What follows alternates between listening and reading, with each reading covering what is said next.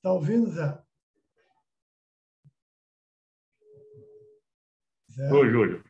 Pô, então, faz 10 minutos que a gente está tentando falar com vocês, eu acho que vocês não estavam ouvindo. Já, já pode abrir, porque já está no horário já. Já iniciou, já. Alô? Boa tarde a todos. Tá saindo é, estamos aqui para mais, mais uma aula do curso de microscopia. Hoje faremos uma, uma aula prática remota, né? uma, uma coisa um pouco inédita aqui para a gente, né? nesse período de pandemia. É, e a ideia, a ideia, dessa aula, na verdade, do curso, é passar um pouco para vocês o, essa proximidade né, do equipamento. Né? Afinal de contas, esse curso é voltado para uma técnica, uma técnica que a gente conversou bastante ontem sobre que nos possibilita estudos na nanoscala, né, na área da nanociência, nanotecnologia, e, e hoje a gente vai tentar aproximá-los né, do equipamento, é um dos equipamentos utilizados é, nessa, nessa grande área né, de nanotecnologia, nanociência, nanocaracterização, que é o microscópio eletrônico de varredura. Ah, então, esse, esse, esse que vocês estão vendo né, é, na câmera né, é o microscópio eletrônico de varredura. E eu vou, é, em alguns instantes, a gente vai fazer um tour nesse equipamento para mostrar alguns detalhes e em seguida a gente vai é, fazer a demonstração. Né? Isso tudo está acontecendo ao vivo, tá, gente? Não é nenhuma é, gravação, as amostras estão lá dentro, então às vezes algumas coisas não saem exatamente né, do jeito que a gente espera, mas é, muitas vezes a gente tem que ajustar, fazer alinhamentos, mas faz parte né, dessas medidas experimentais, isso, isso acontece mesmo. Então, é, vamos lá. O Eduardo, não, então eu estou aqui, ó. Boa tarde a todos. Daqui a pouco eu apresento o Eduardo que está filmando, então a gente está de máscara aqui para se manter seguro. Tá? E vamos lá, Eduardo. Então, é, esse aqui é o microscópio eletrônico de varredura. Né? Essa parte de cima do microscópio é a região onde tem um canhão, o canhão de elétrons, então, é nessa região onde o feixe de elétrons é gerado e é acelerado tá? Para o interior da coluna do microscópio. Vocês reparem que tem um cabo de alta tensão né, ali em cima. É, então, é esse cabo que vai aplicar essa, essa tensão de até 30 mil volts tá, nesse feixe de elétrons. É, essa aqui é a coluna do microscópio. Todo microscópio ele tem que estar protegido para não ter nenhum tipo de fuga de raio-x. A gente vai ter uma aula amanhã sobre raio-x, né? No, é, no MEV. Bom, então aqui tem a coluna do, do microscópio. Nessa região tem as lentes que eu comentei, as lentes eletromagnéticas. Né? A gente não consegue ver a posição delas, mas não só lente, como tem bobinas né, que vão é, ajustar a posição do feixe de elétrons também. Aqui na direita, vocês podem ver é, algumas peças assim sendo no microscópio são aberturas, tá? então é, é, aberturas do sistema óptico. Essas aberturas funcionam de uma forma bem similar que aberturas de câmeras fotográficas, né? Elas cortam o ângulo do sistema óptico. É, nessas regiões também vão ter válvulas para isolar uma região do microscópio a outra região do microscópio, né, válvulas é, para separar a região de vácuo. Né? E essa região um pouco maior aqui que vocês estão vendo, essa região mais abaixo, é a região onde vai ficar nossa amostra. Tá? Então, é, tudo, todo microscópio tem que estar numa condição de vácuo.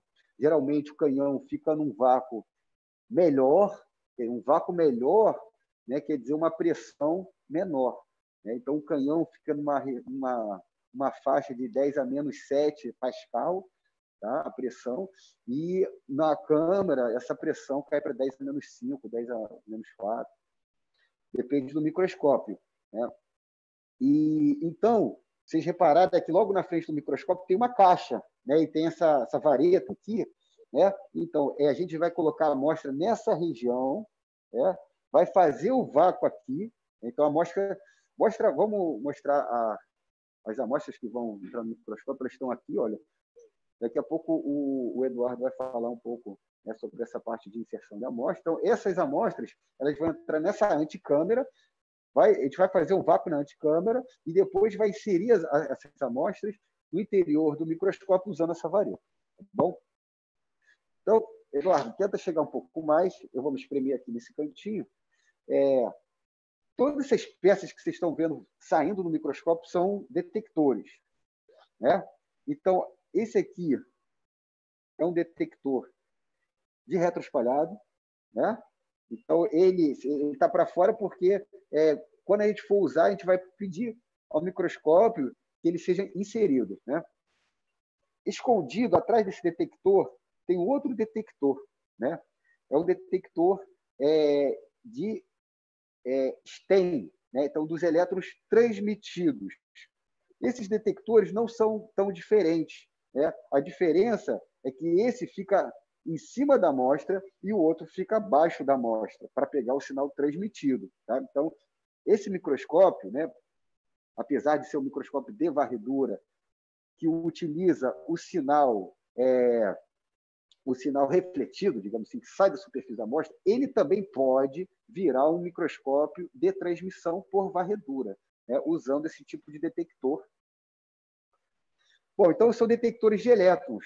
E agora a gente tem dois outros detectores que eu vou mostrar aqui para vocês, que são detectores de raio-x. Tá? Então, esse detector bem grandão aqui, o Júlio, se ele tiver um tempo amanhã, ele vai falar sobre ele. É um detector de raio-x, né?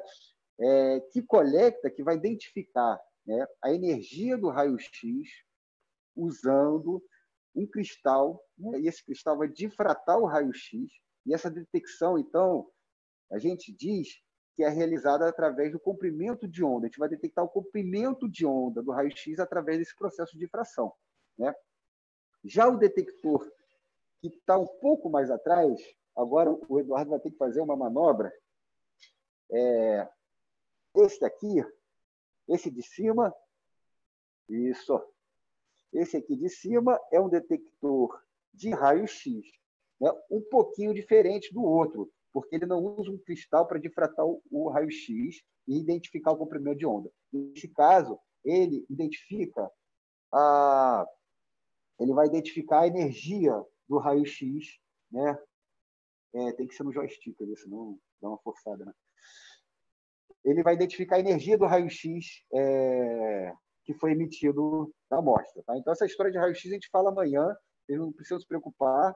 Eu queria mostrar só mais um detector ali, que esse detector aqui, né, esse cilindro né, que a gente está vendo saindo da amostra, né, esse detector é um detector é, de elétrons, né, de padrão de difração de elétrons. Vai ser mais uma técnica que a gente vai abordar nesse curso. Tá? Então, esse cilindro aqui também é inserido né, e é, tem uma tela CCD no final desse detector que vai identificar a imagem do padrão de difração é, da amostra.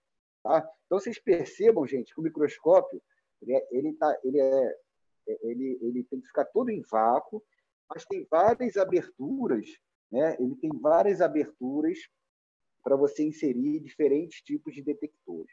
Tá? É, bom, o vácuo desse microscópio ele, ele é realizado por uma bomba turbomolecular na base do microscópio e aqui nessa parte superior, tá? Essa tem uma caixa cinza aqui, né, que está escondendo, mas se vocês conseguirem ver, talvez não muito bem, tem duas bombas de vácuo iônicas ali dentro que fazem vácuo na região do canhão. Tá bom? Ali atrás no chão tem uma bomba mecânica. Então vocês reparem que eu falei aqui de três tipos de bomba: bomba de vácuo mecânica, turbomolecular e iônica.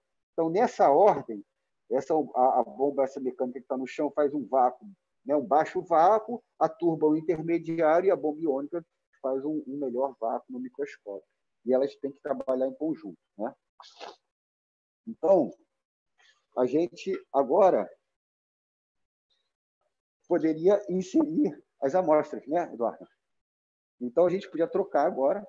Isso. Vou apresentar a vocês o, o Eduardo. Tá, Eduardo Amarante. microfone, ligar o meu? Tá, eu vou desligar o meu microfone. Então, gente, boa tarde a todos. Meu nome é Eduardo, participo aqui do, do grupo do Lavinano, junto com o André Rossi, outros profissionais que trabalham aqui. E eu vou me delongar muito, vou começar a mostrar a amostra para vocês, que, que a gente vai trabalhar um pouquinho hoje. Bom, é, eu acabei escolhendo dois, três tipos de amostras bastante distintas, tá? Duas aqui são iguais, tá? Que são cerâmicas, né? Essa aqui é uma cerâmica de alumina com, com ítria. Isso aqui são pó, é um pó de o, o, o vídeo alumina. foi embora? O vídeo foi embora? É. Não está passando o vídeo? Não tá não, Eduardo. Tá sem vídeo, só, só tem áudio. Isso, só está. Na, então, é que como, é, como o Eduardo está falando, tá, tá, a, a quem está tá... filmando é André agora. É. Exatamente. Tem, tem que assim, ampliar a, a, a tela do André. Exatamente. É, tá, como o Zé está falando, está aparecendo a tela filmada do computador do Zé para cá. Então, é. tem que ir na, na imagem do André e, e clicar apertar, apertar em PIN, que daí vai, a, vai fixar a, tá a imagem do André. Bota. Será que você consegue? Não, estou falando para todos os alunos e todo mundo que está assistindo ir na tua imagem e clicar em PIN em cima então, da tua imagem. Que daí.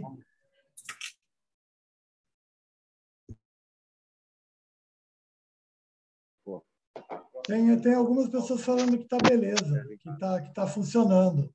Pode seguir, então. Ou talvez seja a sala dos professores. Só. Alô? Liga o seu microfone aí, então. Pode seguir, Zé. Estão falando que está tudo normal. Está tudo normal? Tá, pode seguir, pode seguir. Agora. Tá, então eu estava com um pouquinho aqui. Bom, eu já não estou vendo. Então, assim, é, eu procurei três tipos de amostras um pouco diferentes, né? Estava é, falando que essa aqui é uma cerâmica de alumina com, com ítria.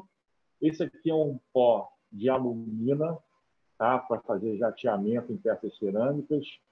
E aí, eu conversando com a Raquel, que é aqui do CDPF, a gente está pensando em tentar fazer com vocês mostrar para vocês um, um, um, padrão de obtenção de imagem que é com ultra baixo é, KV.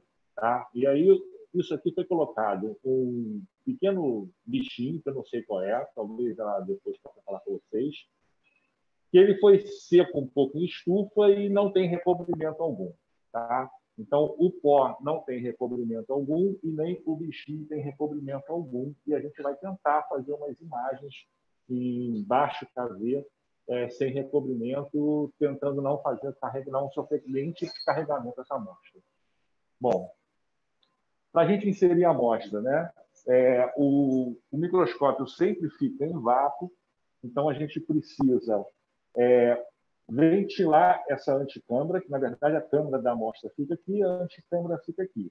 Então esse microscópio tem, tem essa qualidade onde ele vai isolar a câmara onde eu vou é, botar, vai analisar a amostra, né, de uma anticâmara que eu vou utilizar somente para inserir a amostra. Então, ele vai quebrar o vácuo só nessa parte pequena aqui, não precisando quebrar o vácuo da câmara inteira.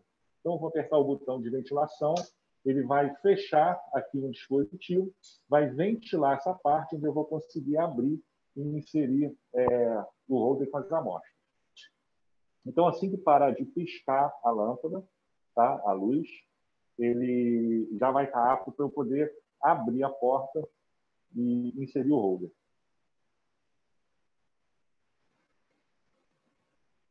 Bom, a lâmpada parou de piscar, eu vou destravar a porta aqui, ok? E aí eu abri. Aqui a gente tem um carrinho, ok? E o holder vai deslizar nesse carrinho e vai encaixar aqui. Vai ficar preso. A partir daí que ele está preso, eu vou poder fechar a porta da minha anticâmara, vou travar ela novamente, ok? E vou apertar o botão de vácuo, onde agora o microscópio vai fazer é, o, o, inverso, né? Ele vai dar vácuo na anticâmara. Quando ela estiver com o vácuo já adequado, ele vai abrir a porta de comunicação e eu vou conseguir, através desse braço aqui, inserir a minha amostra lá para dentro da câmera e posicionar ela no stage. Okay? Então, aqui, é muito importante é, o trabalho de luva sempre, né? Claro, mas mesmo de luva, não tocar nessa parte do braço metálico, porque essa parte vai ser inserida dentro do microscópio. Então, procurar tocar sempre na parte preta, aqui, que é própria para colocar a mão, e nunca encostar nessa parte, nessa haste metálica, que ela vai ter contato com o interior do microscópio. E aí a gente vai esperar alguns segundos, ele vai estabilizar o vácuo da anticâmara. Ele tem um, ele tem aqui um, um, um esquema do microscópio, é, que agora não está mais colorido, mas ele abriu a porta aqui, tá? Normalmente o esquema aqui, ele fecha a porta, aqui fica branco quando está sem vácuo, agora ele abriu a porta, normalizou o vácuo, Tá? Eu posso acompanhar por aqui também. Ok? E aí eu já estou apto a, a, a inserir minha amostra agora. Então eu vou descer o braço aqui, ele está travado aqui em cima, eu vou descer, trazer ele para o horizontal. Ok? Ele vai dar uma pequena puxadinha. Ok? E aí, depois que ele puxou, que ele ficou no, na posição correta, eu vou gentilmente inserir, empurrar ele, tá? sem fazer movimento de báscula. Se eu fizer movimento de báscula, eu posso quebrar o vácuo. Se reparar, ele já vai até indo, já vai até puxando. Eu só vou levando o meu braço. Aqui eu estou encontrando uma resistência. E aí sim eu vou empurrar um bocadinho, ele vai encaixar nos feios.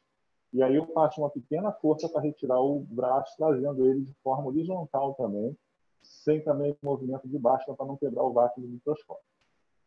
E a partir do momento que ele tem uma trava, a trava é, se posicionou, eu trago horizontal e minha amostra está posicionada lá dentro.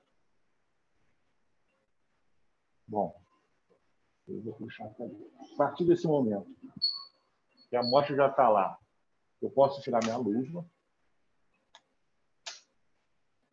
E o microscópio agora teria que projetar aqui, né, André? Essa tela daqui.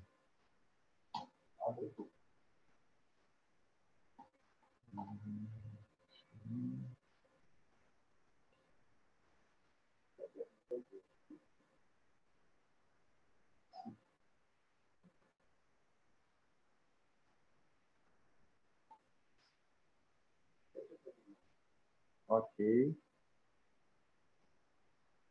Bom, então vocês devem estar vendo exatamente a minha área de trabalho, onde o, aparece o software do, do microscópio aqui aberto para mim. Tá?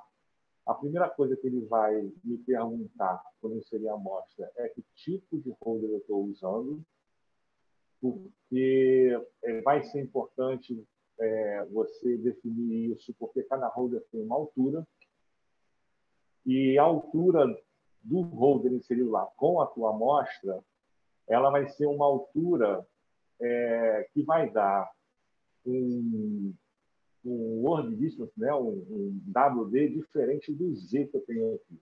Tá? São duas coisas diferentes que eu vou mostrar para vocês um pouquinho mais lá na frente.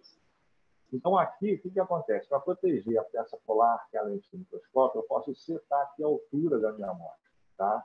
E aí, ele sabendo qual é o porta, o, o holder do porta-amostra, ele já vai proteger e não vai deixar com que a minha amostra bata na minha peça polar.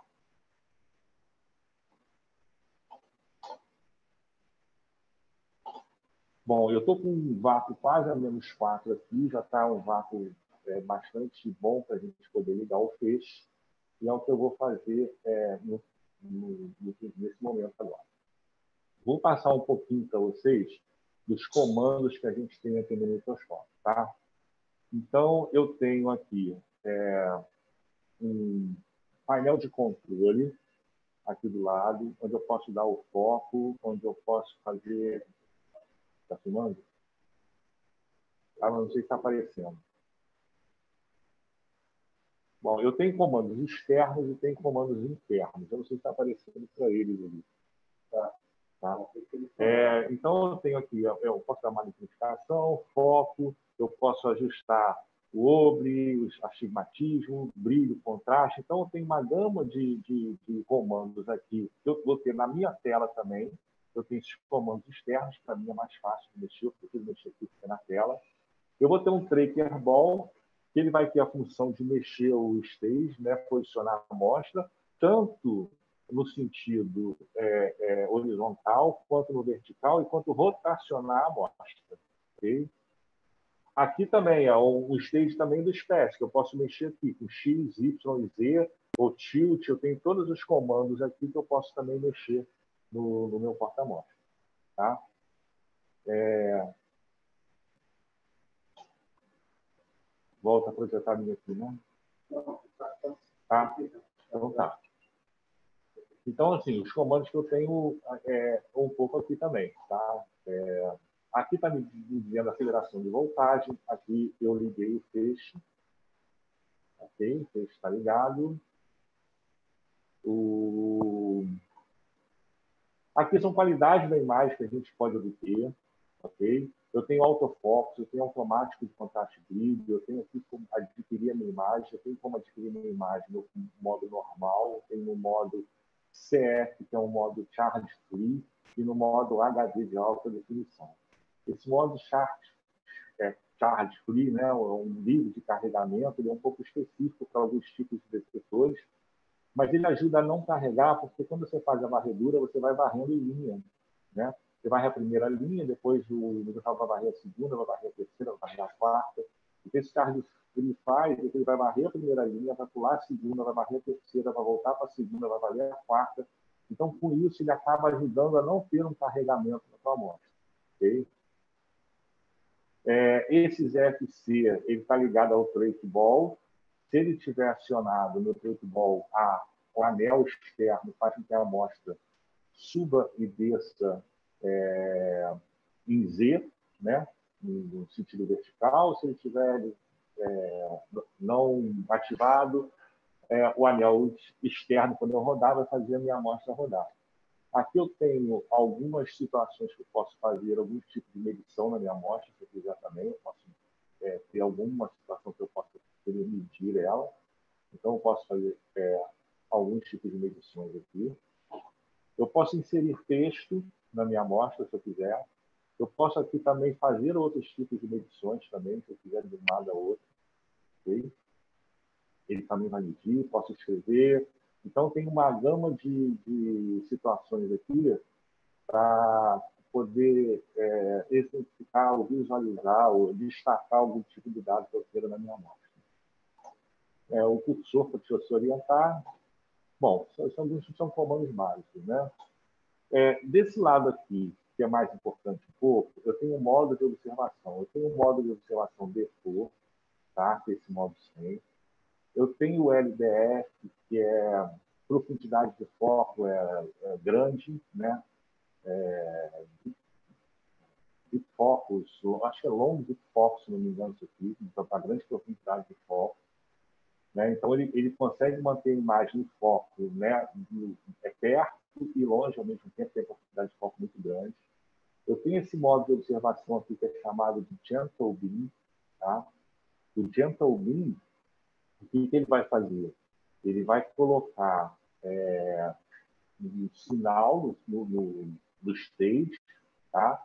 que vai proteger a tua amostra do feixe, mais ou menos assim. Ele serve muito para não ter carregamento. Então, o que acontece? O feixe vai vindo, ele vai ter um carregamento negativo, que vai desacelerar seu feixe para, quando ele estiver chegando na sua amostra, é, ele lá em cima logo.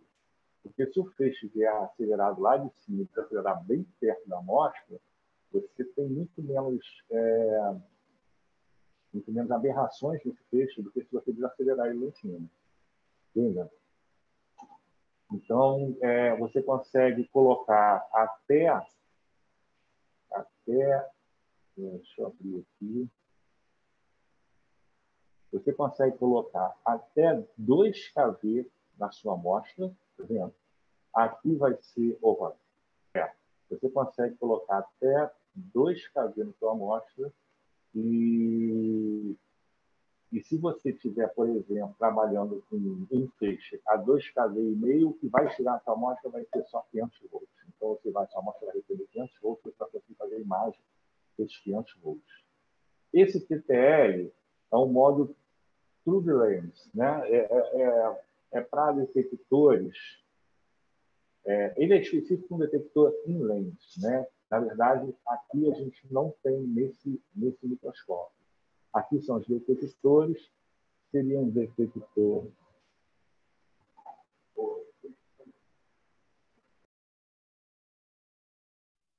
Pessoal, fazer um, só um comentário aqui. Está escutando né? Só fazer um comentário. Né? É, vocês devem ter percebido, quando eu mostrei, quando a gente mostrou o microscópio, né, vocês devem ter percebido uma, uma caixa. Né? É, vocês acompanharem agora a, a câmera, é, vocês, vão, vocês estão vendo uma caixa né? é, de alumínio. Né? Então, essa caixa aí, é, eu esqueci de comentar, mas é uma é para cancelar o campo magnético. Né? Então, campos magnéticos, né, esse ruído magnético externo, eles podem, é, eles podem comprometer o feixe de elétrico, ele pode causar algum tipo de aberração na existência eletromagnética, do feixe de elétrico.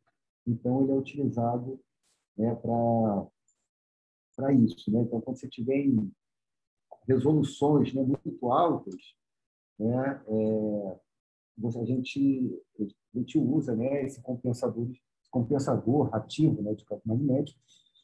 Vamos tentar apresentar essa, essa tela aí? Vamos, vamos. Antes de acabar aqui, posso? Só, só falar isso. Tá, então, calma aí, então vou ter que tá. liberar o seu som. Então. Pode ir. Então, é, esse, esse TTL, na verdade, é para um detector que, na verdade, o Microsoft não tem, mas ele tem uma característica muito importante também, porque no lugar da amostra, ele vai fazer, ao contrário da amostra, ele vai fazer um campo eletrostático, né? na verdade, na lente do microscópio. Esse campo eletrostático vai ser um campo eletrostático positivo, ele vai sugar os elétrons da sua amostra, na verdade, basicamente os do tipo 1, e aí, você com detector dentro da lente, ele consegue captar esses elétrons secundários do tipo 1, que são elétrons com muito mais resolução, e consegue é, imagens com uma resolução muito melhor. Tá? Então, ele tem essa característica. A gente pode né, enquanto eletrostático. Não, aqui ele faz um encontro eletrostático na lente. Entendeu? Aqui na, na borda da lente. É, bom, aí é, a gente, o que a gente pode utilizar? Né? A gente pode utilizar ele um pouco para evitar algum tipo de carregamento devido a esse campo que ele faz na lente. Eu vou tentar projetar a janela que o André falou.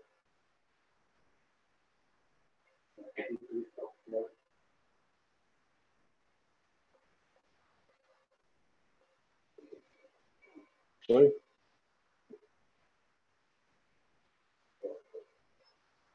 Então, aqui é a peça polar que a gente tem da lente do microscópio. Oi? Quer falar? Então, gente, é, é, é, essa, essa região aponta ali, está apontando, né? onde está o mouse aí, né? vocês têm, você está vendo o cone.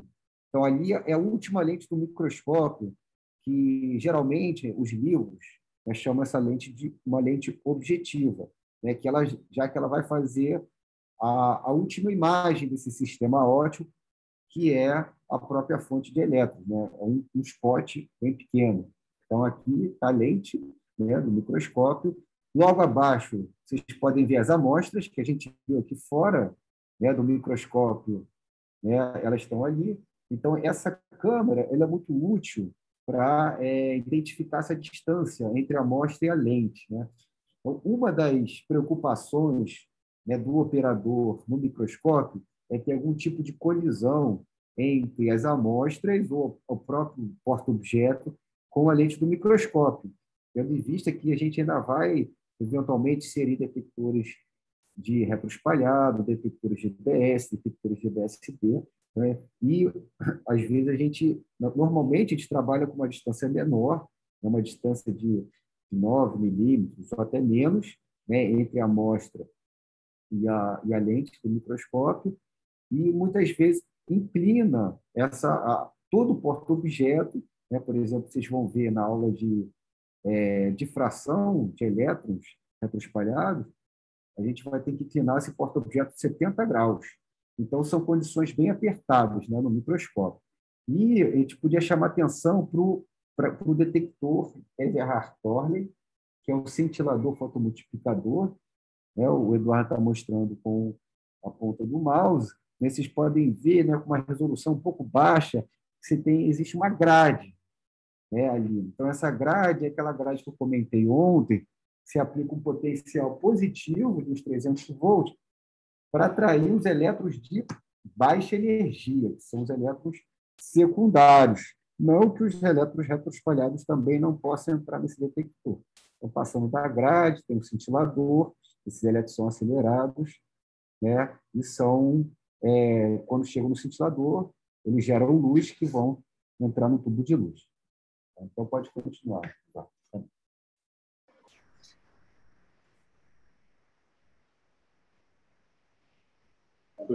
Tá?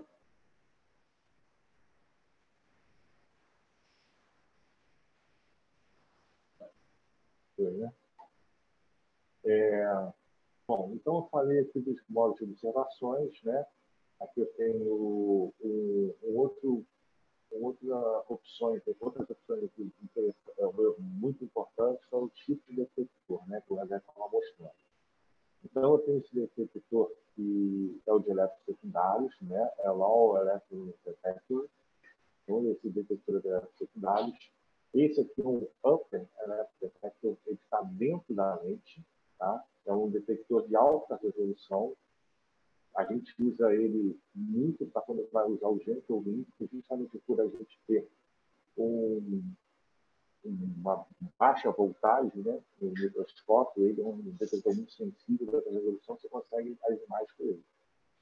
O STEM seria o, o transmissão, né, que o André mostrou também. Aqui eu vou ter dois tipos de reto espalhado, um de topografia e outro composicional. E aqui esse ADV é quando você quer tentar somar é, é, dois detectores, é, ou uma imagem, soma de alguns desses detectores. Tá? É, eu vou tentar mostrar para vocês todos eles. Ok? Nesse tempo para deixar. Aqui o que o André estava falando, que é da grade, né, do coletor, do, do detector de elétron secundário, secundário, que é grade forma. Então, se eu colocar aqui no 3, eu vou estar com a minha grade com 300 volts positivos. Então, ele vai estar trabalhando também como um aspiradorzinho de elétrons, ele vai estar sugando os elétrons. E aí eu posso mudar e colocar em 2 e eu vou ter é, 200 volts na minha grade, ao invés de 300, ele vai puxar menos elétrons, né? É, eu coloco 100, eu posso colocar 100, a qualidade da imagem vai cair um pouco, tá? evita um pouco de carregamento, isso também é uma das formas da gente poder tentar diminuir o carregamento, posso botar 100. Eu posso botar zero, tá? Então, o zero, o que, que acontece?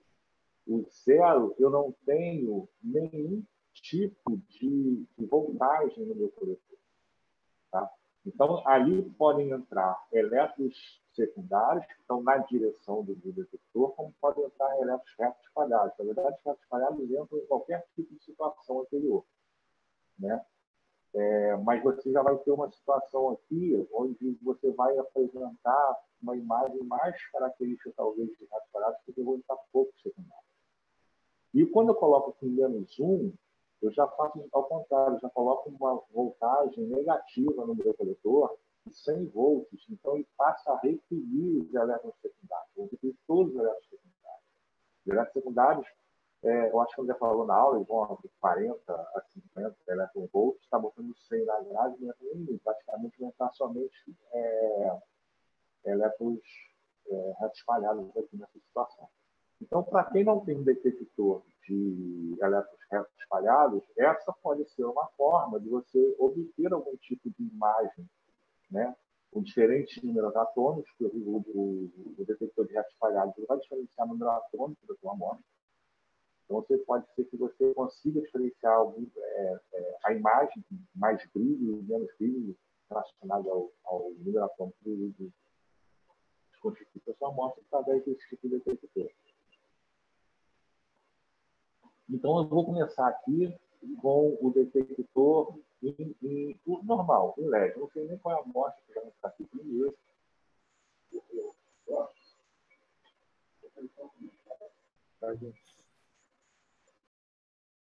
Então, gente, queria só comentar é que mostra ali, Eduardo, é, o botão on e off, logo na esquerda, embaixo do observation, é né? Então, esse botão on e off, né? aperta o off.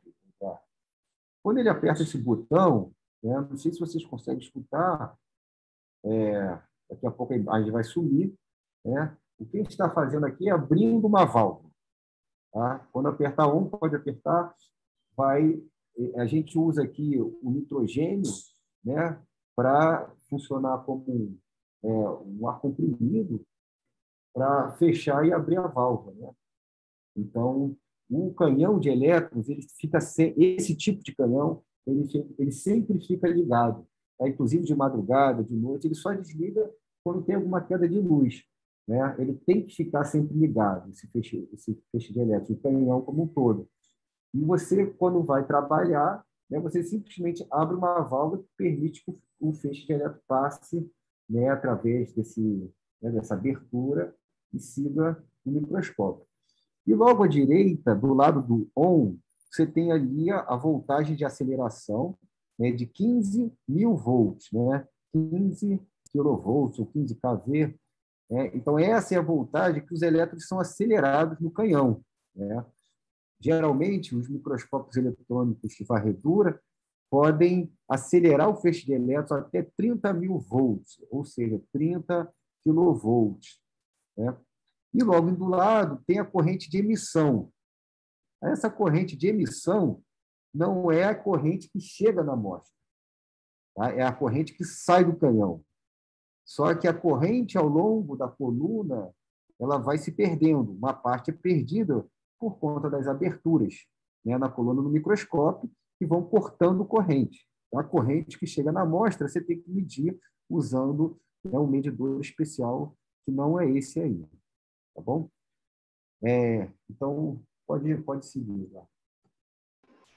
Bom, ok. Então, essa amostra que está aqui é a amostra de cerâmica com, com ítria, né, alumina com ítria, e eu estou numa magnificação de 10 vezes, um WD de 39,1, então eu preciso né, começar a configurar isso tudo. Normalmente, eu até costumo começar a trabalhar com 15 kV mesmo.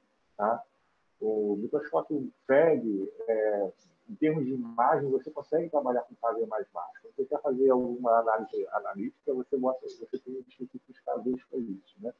Mas em termos de imagem, você consegue trabalhar com imagens com uma voltagem pequena. Então, eu vou fazer um aumento, tá?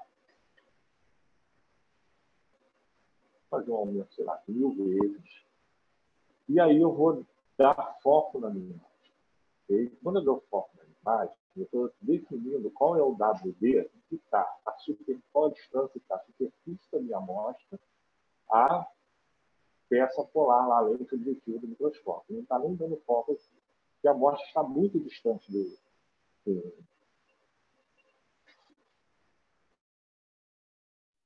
Gente, é, fazer um, é, uma, um parênteses aqui, né?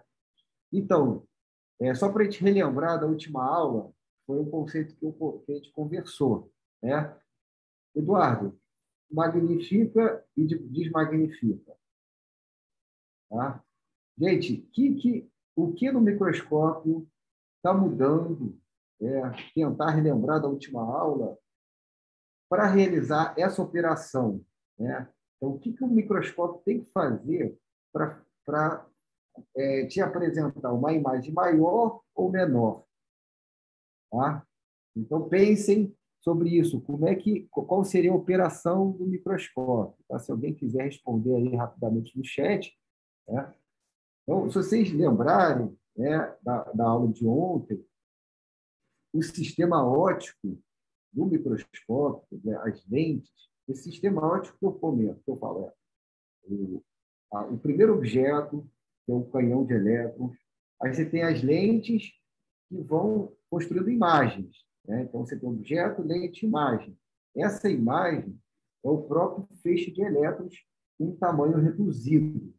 Muitas vezes a gente chama aqui de spot. Né? Ah, o spot, o spot size, o tamanho do spot.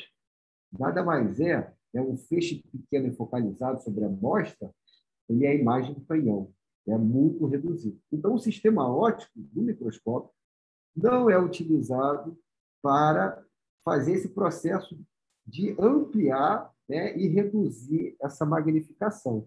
Então, o que ocorre no microscópio, que é para você fazer um aumento maior, é o processo de varredura. Então, as bobinas defletoras, as bobinas que realizam esse processo de varredura, elas têm que mudar sua configuração para você varrer uma região menor. Então, agora ele está varrendo uma região menor, ele faz um aumento maior.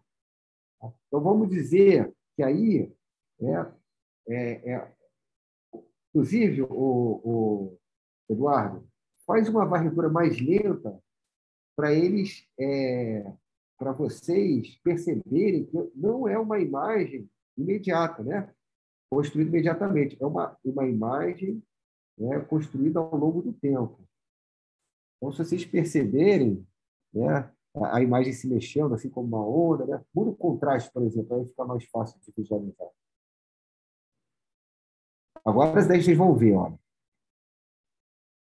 É. Então, olha, essa linha que está descendo é o processo de varredura, é o feixe que está varrendo a amostra ao longo do tempo. Né? Então, você não tem uma imagem, é que a gente pode chamar de uma imagem real, é uma imagem que ela é construída ao longo do tempo, onde cada ponto onde você mediu a intensidade do objeto, né, vai representar aquele mesmo ponto na sua imagem final que vocês estão vendo. A gente consegue construir uma imagem. Tá? Então, é, para fazer um aumento maior, a gente precisa varrer uma região menor. Então, tem que amostrar uma região maior e vai ampliar essa, essa, essa, essa região. Né? Então, é, o, o feixe vai varrer um certo número de pontos na, sobre a amostra, né, que é de 512, por exemplo, por 512, ou 1024 por 1024. É, se você colocar 512 pontos numa região menor, o tamanho do pixel sobre a amostra vai, ter, vai, vai ser menor também. Então, você está varrendo uma região menor. E, e deixa eu fazer um último comentário aqui, né, só para é, marcar bem a questão do, do foco. Né? Então, existe um botão aumento ali, que te mostrou no joystick, né, que dá até para ver a mão dele ali na câmera. Existe um botão aumento, que são as bobinas defletoras, que estão trabalhando no microscópio você varrer uma região menor ou maior. E existe o botão foco. Né? Então, o que, que faz esse botão foco? O botão foco ele ajusta o foco da última lente do, do microscópio, que é a lente objetiva. Né? Então, o que ele está fazendo? Ele está projetando a imagem da fonte né, uma distância maior ou menor. Quando a imagem da fonte está focalizada exatamente sobre a amostra, sobre a superfície da amostra, o tamanho do seu feixe é o menor possível. E quando o seu tamanho, o tamanho do seu feixe é bem pequeno, ele vai, né, nem sempre, mas na maioria, é, ele vai caber dentro do seu pixel né, no espaço amostra. Se você desfocaliza o feixe com a superfície amostra, lembra eu mostrei uma das últimas imagens da última aula, o, o feixe vai transbordar o tamanho do pixel. Então, ele não vai caber dentro do pixel no espaço amostra. Ele vai começar a transbordar e capturar o sinal de outras regiões. E aí a gente vai se sentir uma imagem desfocalizada.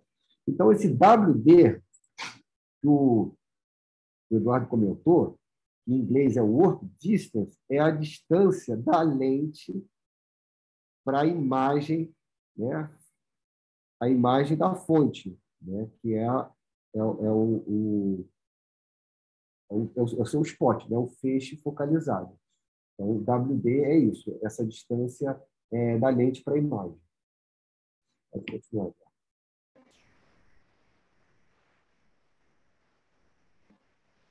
Bom, é, no modo normal de captura de imagens, de apps, é, secundários, eu costumo utilizar um, um WD, que é um WD analítico para EBS, que é de 10 milímetros. Tá? Então, o que, eu vou fazer aqui? Vocês reparem, olha a diferença. Eu tenho um WD, a minha imagem está em foco, ou seja, né, a projeção lá do, da fonte está perfeita na superfície da minha amostra, eu estou mostrando que o WD está de 37,8 milímetros, mas a minha distância, meu Z está de 40. Eles não, não, não são iguais, porque eu tenho a altura, justamente a altura da minha amostra do, do holder, que deve ser isso, de 2 milímetros e alguma coisa. Tá? Então, eu vou chegar aqui com cuidado, eu, é, normalmente eu faço por segurança é, essa subida do stage né, em direção à peça polar de forma fracionada, por segurança. É, eu vou chegar aqui a 20. Então, vocês vão ver que quando eu der um move aqui, o, o meu stage vai começar a subir, se é que vocês estão estão vendo a câmera. Então, vou dar um move aqui e o meu stage vai começar a subir ó, em direção à minha peça, é, a minha peça polar, a minha lente, de tal forma que a distância dele para a superfície do, do meu porta-amostra aqui seja de 20 milímetros, como eu setei aqui. A diferença está justamente na altura da minha amostra. Quando eu fizer aqui eu, eu projetar a, a, a, minha fonte aqui na superfície da minha amostra, essa diferença aqui vai ter a diferença do outro, do, do meu Z aqui. Então, como é que eu vou saber agora qual, vai, qual é a minha distância de trabalho que eu tenho? Já que eu subi a amostra é diferente do Z, eu vou é, dar foco na minha imagem. Então, quando a minha imagem quando a minha imagem entrar em foco aqui, vou voltar aqui para eu vou diminuir aqui a magnificação dela, porque aí eu consigo acessar mais rápido aqui o WD. Eu vou diminuindo ó, meu WD, que ele deve estar próximo de 20, então eu sei que tem que diminuir. Eu vou diminuindo, então a projeção do, né, do, da minha fonte vai, vai alterando em Z também, até que quando ela ficar exatamente na superfície da minha amostra em foco, esse vai ser minha, meu obedecimento de trabalho. Então, eu vou aqui, ó, eu aqui uma trabalho, já entrando em foco, eu posso aumentar um pouco, né, facilitar, diminuir, aumentar, o, o alto brilho contraste, do incrível que pareça, funciona bem na maioria das vezes. Tá? Então, eu vou é, aumentar e vou dar o foco aqui, é, vou chegar no foco, ok? Então, peguei minha imagem, um foco, estou com o meu ofício de 17. Eu quero chegar a 10, eu vou diminuir um pouco mais aqui, eu vou diminuir meu Z para 15. Então, eu não vou mudar de câmera agora, então vocês vão ver que vai, o foco vai começar a mudar, porque justamente o meu stage está subindo mais em direção à, à minha, à minha lente objetiva. E aí eu vou dar o foco novamente e vou ver qual é a distância de trabalho que eu estou eu, eu, eu, obtive nesse momento. Obtive uma distância de trabalho por volta de 11. Tá? Eu quero colocar exatamente 10. O que, que eu faço? Eu coloco aqui em 10. Okay? E aí eu venho aqui no STR que está é, tá ativado e no anel de fora do meu trackball, que eu mostrei para vocês, está desativado o anel de fora do meu trackball Ativou? Tá então, desculpa, não é o STR, é o ZFC. Eu vou no ZFC, ativo o ZFC, aí eu, o, o anel de fora do meu Twitter Ball, quando eu começo, ele vai começar a subir minha amostra bem devagarzinho, Tá vendo? Em total controle, e aí eu consigo chegar no WD analítico que eu quero, que é o meu WD ideal é de 10. Ok? E aí eu vou magnificar essa imagem. Vamos ver, vamos subir mil, dois mil, três mil, cinco mil. Vamos ver o que ela apresenta. Vou dar um autofoco, ver que você vai me apresentar aqui. É, o pessoal elogiar que trabalha bem, tem muito surpreso essa peça.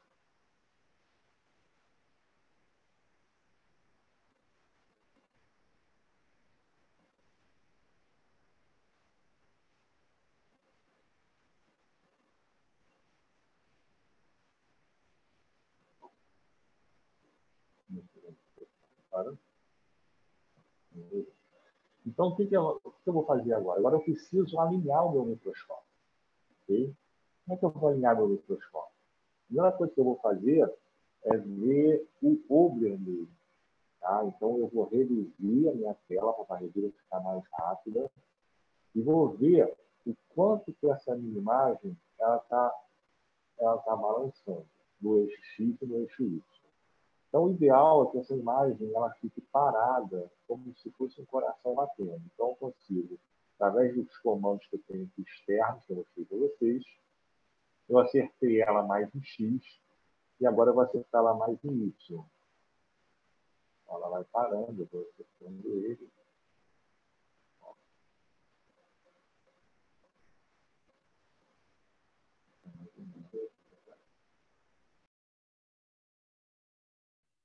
Então, gente, fazer um comentário aqui. É, à medida que a gente vai fazendo imagens é, com aumentos cada vez maiores, o que acontece? Se você faz aumentos maiores, você vai varrer uma região menor sobre a amostra. Né? E se você continua com o mesmo número de pixels, né, os seus pixels vão ficando cada vez menores. Então, para não ter vazamento de sinal, para que o seu feixe caiba dentro do seu pixel. Né? Então, o que é o vazamento de sinal? É, é a desfocalização. Quando você sente a sua imagem desfocalizada, é que você está tendo esse vazamento de sinal. Né? Quer dizer que o seu pixel não está entrando, né? o seu feixe está maior do que o seu pixel. Né? Então, pode ter vários motivos. Pode ser que o seu feixe seja de fato muito grande, o seu pixel muito pequeno. Ou pode ser que seu feixe esteja desfocalizado. Então, a gente está corrigindo o foco. E tem uma, uma outra questão, que é o alinhamento do feixe ao longo do microscópio. Então, é isso que o Eduardo está fazendo agora. Ele comentou, né? Ah, vou fazer um Obler. Né? O feixe de elétrons, ele sai do canhão, né? logo que ele sai, ele já tem que estar alinhado né, com as primeiras aberturas cada vez que ele entra numa lente, ele tem que ser ajustado, né? o feixe tem que sempre estar paralelo ao eixo óptico no microscópio. Né? Então, esse alinhamento que ele fez, né, o Ober, é uma oscilação da corrente numa lente ou numa bobina do, do microscópio, que são utilizados para alinhamento, né, que facilitam né, o ajuste né, da, da, assim, da, da, posição do feixe no eixo óptico do microscópio. E logo após o do alinhamento, né, é, é, a gente repara que a, a, qualidade da imagem ficou melhor, a gente tem mais resolução, porque agora o, o seu feixe né, ele está com tamanho menor e agora sim cabendo, né, se ajustando dentro desses pixels, pixels lá do espaço amostra. Né? É, e, então, agora vocês estão vendo a imagem oscilando, né? e tem um outro tipo de alinhamento que a gente conhece bem, né? que é o astigmatismo. As imagens ficam astigmáticas né? porque é, o feixe, né? que devia ser exatamente circular, ele também está astigmático. Né? A, a, sua sonda, né? o seu spot está sobre a amostra. Se ele tiver oval, né? ele também vai causar o vazamento sinal em uma determinada direção. E agora a gente pode ver né, que, a, que a imagem está com uma qualidade né, bastante superior. Né? E, bom, o que vocês estão vendo aqui, gente, se a gente parar um pouco para interpretar esse contraste, né, a gente falou um pouco de contraste na última aula, né? é, a gente tem aqui um contraste de que tipo? O que a gente está vendo aqui? É bom sempre interpretar o contraste de uma forma um pouco mais profunda, não deixar a nossa abstração é, se antecipar à, compreensão de fato, assim, na interpretação da imagem. Né? Então, a gente tem um contraste, principalmente de topografia, porque a gente consegue reconhecer esse contraste. Né? É, a, a gente não está detectando, primeiro, pelo menos a priori, nenhum tipo de variação de contraste relacionado ao número atômico. Né? Parece que toda a superfície aí, toda essa região da amostra tem a mesma composição né? e a gente tem uma variação de relevo. Então, o que está gerando o contraste aqui não é número atômico, né? não é a variação dos retroespalhados emitidos pela amostra, mas sim a variação dos elétrons secundários que são emitidos da superfície da amostra. Então, vamos lá, os elétrons secundários eles não vão variar com o número atômico, eles vão variar com a inclinação daquele pixel. Né? Se aquele pixel tiver uma, uma parede né, bastante inclinada aí nessa, nesse relevo, nessa topografia, vai emitir mais sinal. Então, vocês podem perceber, por exemplo, nas bordas, você tem um sinal. Né, olha, essa borda aí que está sendo mostrada. Você tem um sinal que quase que satura. Né? Então, isso é muito comum, o efeito de borda dos elétrons secundários. Né? E se vocês perceberem, né, é, a borda que é voltada para o detector ainda fica mais claro. Né? O lado contrário dessa borda não fica claro porque os elétrons secundários teriam que passar por dentro da amostra para chegar no detector. Ou seja, a própria amostra faz uma sombra né, para aqueles elétrons secundários chegarem no detector. Tá? Então, pode ir. Bom, então, assim, é, o microscópio está alinhado, está no WD é, bastante bom para a gente poder fazer uma imagem simples de elétrons secundários. E aí eu vou clicar aqui em normal, tá? Eu não vou precisar, não vou é, capturar a imagem em alta definição, nem em aqui, normal. E aí vai fazer, começar a fazer uma, uma varredura um pouco mais lenta, e, e, você vê que a qualidade da imagem é tão boa que a gente, consegue, consegue nem prestar atenção direito na diferença. Né? Vai fazer uma, uma varredura mais lenta e vai me dar, assim que ele acabar de varrer, uma janela para onde eu vou salvar a minha imagem. Eu vou poder escolher a minha pasta, vou poder escolher o diretório do computador para poder onde eu vou poder salvar. Né? E aí eu defino aqui onde é que eu vou poder salvar a imagem. Então, vou salvar essa imagem, porque eu acho que não tem é, necessidade. Tá? Então, está num aumento aqui de 8 mil, a gente pode é, tentar fazer imagens é, com aumentos um pouco maiores. Tá? E aí, assim, quanto maior é o aumento, mais fino é o alinhamento que a gente tem que fazer. Então, eu posso fazer aqui, mas aí seria ideal eu repetir toda essa parte dobro, né? Porque ele passa a balançar mais, e começa a perceber mais é, os pequenos balanços, né? Você começa a perceber mais o alinhamento também, é, o astigmatismo também, poderia ajustar mais fino, mas aí uma imagem é, sem, sem tipo de refinamento, uma imagem que fica, com uma, uma qualidade bastante aceitável. Bom, é, eu, eu, vou, ah, vou variar aqui um pouquinho para vocês a situação da grade para a gente ver o que acontece. Né? Então, aqui eu tenho detector LED e eu posso variar aqui a grade. Então, vocês vão ver que se eu colocar dois, vão entrar menos elétricos, a, grade, a, a imagem vai ter pouco de qualidade, vai escurecer um pouquinho. Eu posso dar um alto contraste você vê que as bordas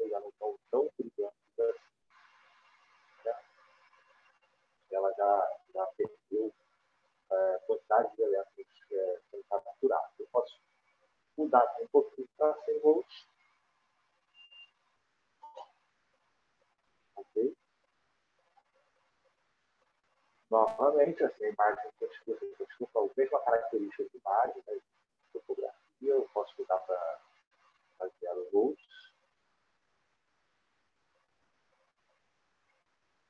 E cada vez mais você vai perdendo mais qualidade da sua imagem.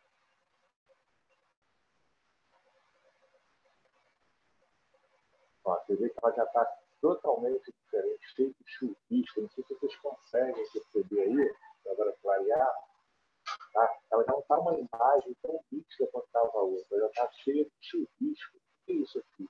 Isso são quantidades de, de eletricidades que estão entrando, estão diminuindo bastante. Eu posso colocar a grade com potencial negativo, e aí ela vai exprimir né, os secundários e ficar só com os retos espalhados.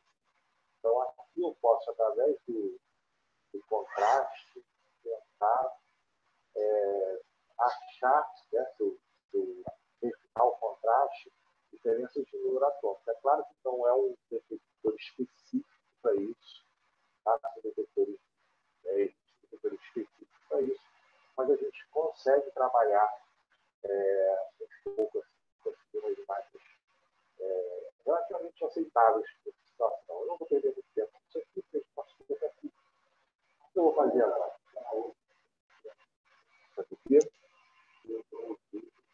Ah, não, vou fazer isso. O que eu vou fazer agora?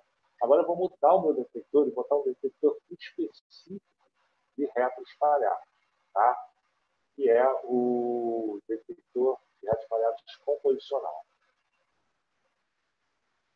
Para fazer isso, o que eu vou fazer? O ideal é que a gente fez esse microscópio até que o fez automaticamente, tá? mas assim, é bom que alguns não tenham essa, essa capacidade de ligar o feixe. Eu vou inserir o detector então, eu vou mudar a câmera aqui para vocês. O detector é sendo inserido.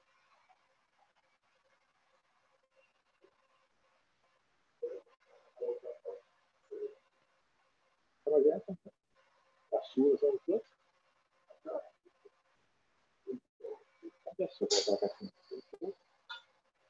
Aí o detector vai entrar aqui.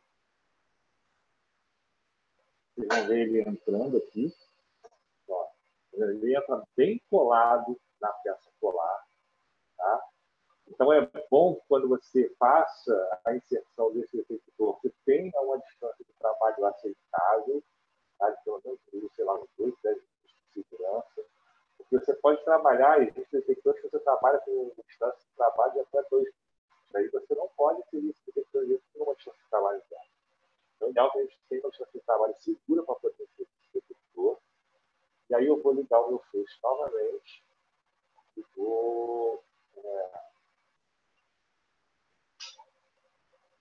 mais detalhes. É, vou trocar o detector. Essa é a mesma bosta, só que a sua melhor. Entendeu?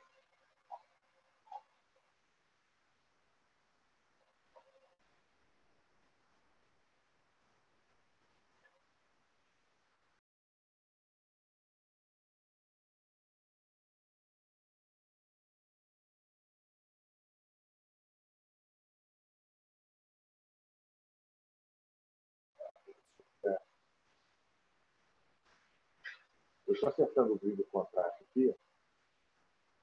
Tá? Para poder chegar numa situação onde eu consiga diferenciar através do brilho do contraste. Ó, olha só, a gente não conseguia ver isso aqui no elétrico espalhado secundário, ok? Então, eu estou numa condição agora. Deixa eu ver.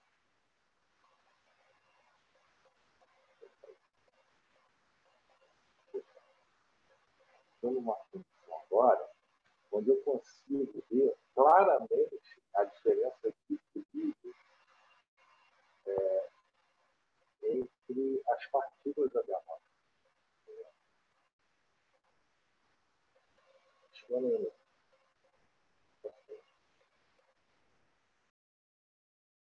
Então, gente, esse aqui é mais um ponto que eu queria reforçar aqui com vocês, né, que a gente conversou é, na última aula sobre principalmente dois tipos de sinais que são usados para formar a imagem. Tá? Então, vamos só voltar um pouquinho mais. Né? Eu lembro que a gente começou a aula falando da trajetória do elétron, que sai do canhão, passa pelas lentes, né, numa condição de vácuo, e atinge a amostra. Né? É, então, ele vai ter a interação eletromatéria, é, é então, e essa interação eletromatéria vai gerar diferentes tipos de sinais. Então, cada, ao longo da varredura, né, o feixe está capturando sinais em cada pixelzinho. Né? Então, o feixe está parado numa, né, num ponto, captura o sinal, depois vai para o vizinho, vai para o vizinho, e faz a varredura de toda a imagem. Né? Então, nesse processo de interação eletromatéria, tem, no MEV se utiliza principalmente dois tipos de sinais para formar imagens. Uns elétrons secundários e uns elétrons retroespalhados. Vamos relembrar. Os elétrons secundários, eles, qual é a origem deles? São, primeiro, elétrons de baixa energia. Então, eles vêm da camada de valência condução dos átomos. Então, ocorre uma perda de energia pequena do feixe para o átomo para gerar esse elétron, que é secundário, não é o próprio feixe de elétron. É fruto de uma perda de energia do feixe, de um processo inelástico. Vai gerar esse sinal né, de baixa energia que não está relacionado com o número atômico. Então, independente se o feixe interagir com um elemento pesado ou mais leve, não é isso que vai variar esse coeficiente elétron secundário. O que vai variar essa quantidade, o coeficiente de elétrons secundários, é a, a, inclinação daquele pixel em relação ao feixe. Tá? Então, se aquela região tiver o plano em relação ao feixe de elétrons, né, fazendo uma normal, é, você tem uma certa quantidade de elétrons secundários sendo gerados. Se essa região estiver mais inclinada, principalmente inclinada e voltada ao detector, você tem um aumento de elétrons secundários. Então, é um sinal que não traz informação de número atômico. Então, a gente viu essa mesma região, não foi, Eduardo? Com os elétrons com o detector de Everhard-Thorne, né, que captura principalmente os elétrons secundários, e a gente viu somente o relevo. Ou era uma outra região? Não, era a mesma região. Né? Então, a gente viu só o relevo. A gente só viu uma topografia né, e não conseguia visualizar nenhuma diferença de número atômico. Então, agora a gente mudou de detector. Né? Agora a gente não está usando mais o Everhard que tem aquela grade que atrai os elétrons secundários. Né? Agora a gente está usando um detector que é dedicado aos elétrons, aos sinais de mais alta energia. E quem são esses sinais? São os retroespalhados, que são, que são os elétrons do próprio feixe, que interagiram com a amostra e retornaram, né, saíram da superfície. Eles fizeram aí uma, uma curva de 180 graus após algumas interações. Né? Os elétrons retroespalhados, eles têm é, é, eles não têm uma energia muito definida, mas a energia deles é mais próxima à energia do feixe. Se a gente for ver esse espectro né, de energia dos elétrons retroespalhados, está deslocado para a própria energia do feixe. Né? Alguns não perderam energia alguma com esse retorno, e alguns perderam um pouco de energia, tem uma certa distribuição. Né? E os elétrons retroespalhados, eles variam né, a sua é, quantidade, intensidade, coeficiente, com o número atômico, ou seja, regiões né, que têm elementos mais pesados, relativamente, isso aí na, na, na sua amostra, vão emitir mais elétrons, mais elétrons retroespalhados por conta de uma interação né, é, mais intensa com o feixe de elétrons. Né? Então, o elétron, quando vê elementos mais pesados, ele tem maior probabilidade de interação. Né? a gente chama isso de seção de choque. Tem uma seção de choque maior com elementos mais pesados e elementos mais leves por conta do tamanho né, dos elementos. É, e, então, a gente está vendo aqui né, que a gente mudou o detector e agora a gente está vendo regiões claras, que são exatamente a presença de elementos mais pesados na sua amostra. E o interessante aqui é notar né, que é, nessa imagem que a gente está vendo agora, que agora saiu, né, É, eu aqui a vontade. Ah, o, Eduardo está aumentando a vantagem de aceleração do peixe, né? mas é, vocês lembrarem bem, a imagem volta daqui a pouco, está ajustando nas condições do feixe elétrico. É, a, a, essa imagem que a gente tinha com o detector de retroespalhado, a gente tinha uma, uma, uma, uma informação pequena de relevo. A gente perdia, a gente perdeu os detalhes do relevo. Né? Então, a gente está aqui mais otimizado para ver variação de número atômico né? e menos informação do, no contraste que a gente tem do relevo, né? que, que são aquelas, aqueles contornos, né? aquelas, aquelas rampinhas que você vê. Olha, por exemplo, essa imagem, a gente perdeu a informação do, da, da topografia, né? comparado com a, com a imagem dos, do, com o detector de Eberhard-Torner. Por quê? Esse detector de retroespalhado é um detector que ele fica numa posição simétrica, né? logo abaixo da, da, da lente, né? e os retroespalhados, né, que vão para um detector, eles fazem mais ou menos uma normal em relação à superfície, mas como o detector é simétrico, a gente não tem muito essa informação. A gente pode até obter uma, essa informação um pouco melhor, né, de, de relevo, e a gente pode fazer esse experimento já já, quando o Eduardo está aqui a, a imagem, a gente já está vendo. Se a gente tornar o detector de retroespalhado, quer dizer, exatamente esse detector que está usando, se a gente tornar ele assimétrico, né? e como a gente poderia tornar esse detector assimétrico? Lembra que eu falei ontem que esse detector é dividido em quadrantes? Se a gente pegar um quadrante, né, coletar o sinal que tem nesse quadrante e subtrair pelo outro quadrante, né, pela outra metade do detector, a gente passa a excluir a informação de número e passa a ter as informações de, de, de relevo.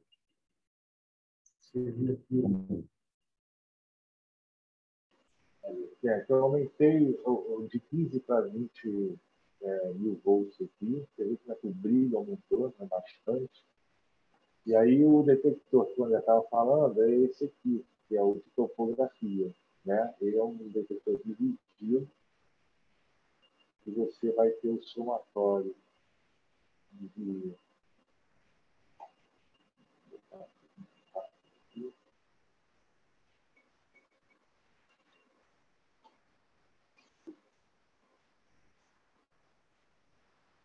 vai fazer um, um somatório um somatório de aquisição de imagens dos dois ver que a imagem fica completamente diferente.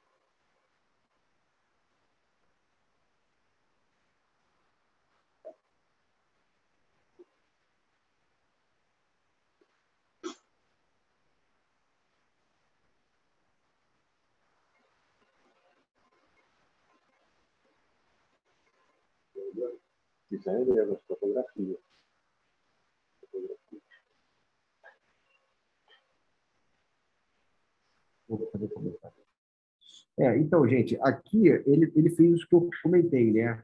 Que é pegar os dois quadrantes e subtrair um pelo outro. Para a gente ter tentar, como eu falei, tentar ter uma informação de relevo. Vocês percebam que a informação de número atômico subiu, porque em cada quadrante vai chegar a mesma quantidade de sinal relacionado aos, ao número atômico, ao contraste de número atômico. Então, quando você subtrai esses sinais, é, você zera, você exclui o contraste número atômico. Agora, vocês percebam que o relevo também não está saindo muito bem. Porque a gente imagina o seguinte, se você tem um relevo, uma inclinação, o retroespalhado ele vai sair um pouco inclinado, por causa dessa superfície inclinada. Então, um quadrante do detector teria mais sinal que o outro. Mas o que eu percebo aí que o relevo dessa, dessa amostra ele é pouco acentuado. A gente pode tentar, depois, com uma outra amostra, esse mesmo tipo de, de imagem de relevo usando esse, esse detector. Mas como o relevo é pequeno, não faz tanta diferença nos padrões.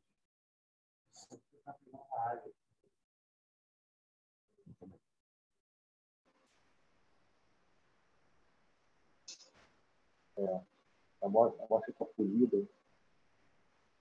Não sei se eu vou achar alguma área aqui que envolver.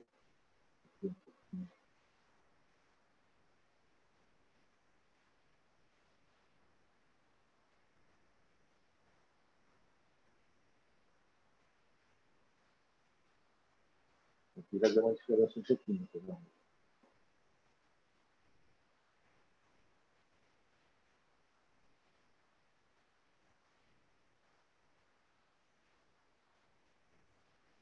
Bom, é, vamos evoluir.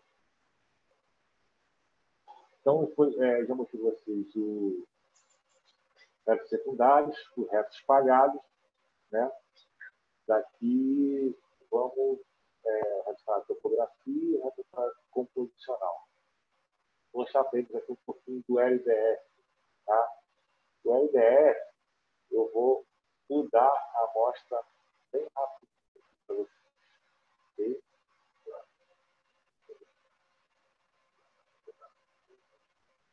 De rotação de quem? Tudo? Ah, do, do. Tá. Deixa eu deitar todo. Bom, é, eu estava pedindo para mostrar para vocês um processo de varredura aqui, onde eu vou mudar o fluxo. Na verdade, eu tenho uma situação onde se eu, eu posso rodar o meu stage, tá? eu posso chegar aqui e fazer, por exemplo, ele vai deixar a saída aqui na horizontal. Tá? Então, ele vai rodar minha amostra, ó, rodou minha amostra. E eu posso fazer com que só o feixe rode e o meu, e o meu stage fique parado. Aí eu vou usar justamente esse STR. Tá? É, não dá para ver as duas janelas aqui. Né? O interessante seria a janela do stage, do stage rodando, e, e depois ah, só a imagem rodando. Tá? O stage rodou. Tá não sei se vocês conseguem ver. É. Então, assim, é, eu posso rodar, rotacionar o meu stage, tá? se eu quiser, mas eu posso manter minha amostra parada e rotacionar o feixe também. Ele vai rotacionar a imagem que eu estou vendo, mas a minha amostra vai estar parada. Ele vai mudar o tipo de varredura do feixe. É, oh, oh, tem, tem uma pergunta aqui do Juliano, posso colocar e daí vocês comentam? Pode sim. Tá, ele perguntou, o Juliano Pereira perguntou se as legendas com medições, texto, etc., só podem ser adicionadas no momento da captura ou o software permite salvar algum é, algum tipo de arquivo que possa ser melhor manipulado depois? Não, você pode medir depois. Você pode medir depois. Tá? Se você tiver imagem aqui, você pode depois você pode medir ela. Então, posso chegar aqui, você está falando de fazer um tipo de medição aqui, né? Eu posso, depois dessa minha imagem capturada, eu posso é, fazer essa medição dentro desse mesmo software, né? dentro do mesmo, mesmo padrão aqui do, do que eu estou usando. Ele vai reconhecer, porque ele faz um, uma imagem file, né? um arquivo de imagem de, de texto, e inclusive eu consigo é, colocar uma amostra no dia seguinte e com um clique no mouse setar meu, meu microscópio todinho para a condição que eu trabalhei no dia anterior, desde, posição de X, de Z, de voltagem do feixe e tudo. Então, esse tipo de microscópio ele consegue reconhecer é, os parâmetros da sua imagem. Então, você consegue fazer é, essa medição depois sim. Fala, Então, é isso. Só complementar o que o Eduardo falou, existe esse arquivo que é produzido em TXT, que tem todos os detalhes é, da posição do microscópio é, da imagem que foi obtida naquele momento. Então, aumento, é, corrente, é, spot size, é, voltagem de aceleração do feixe, e distância de trabalho, que mais? E um desse, uma dessas informações né, que vem no arquivo TXT é o tamanho do pixel porque a imagem tem um certo número de pixels, inclusive tem um número de pixels da imagem, 512 por 512, 1024 por 1024. Então, vai estar dizendo lá qual é o tamanho de um pixel. Né? Então, isso é, é uma informação importante e vamos dizer que é, você esqueceu de salvar a escala, né? a imagem foi sem a escala, você, sabendo o tamanho do pixel, você pode fazer uma escala de né, 100 pixels, e aí você, sabendo o tamanho do pixel, você, você consegue refazer a escala. Né? Mas é, você pode configurar como a imagem vai sair, né?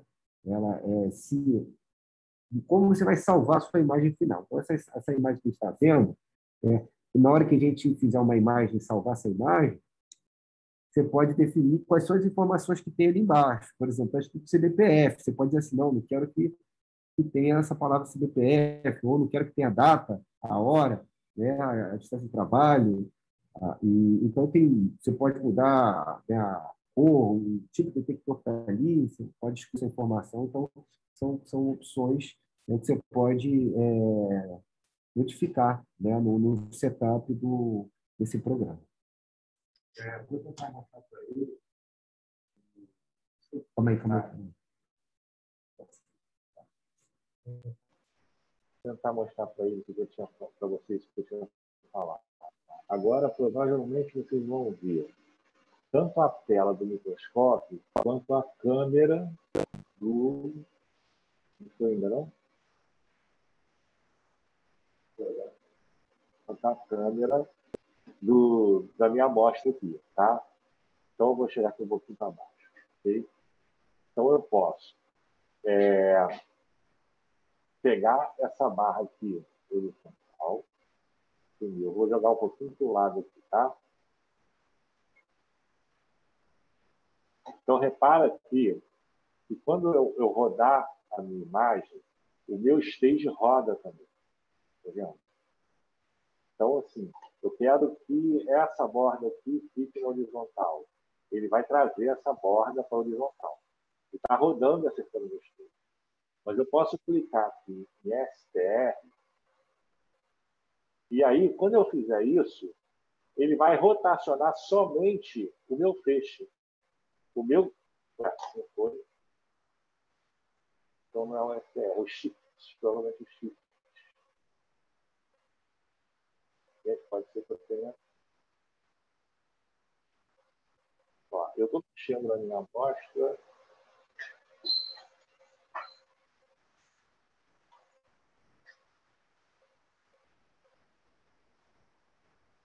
Dando esse comando para vocês.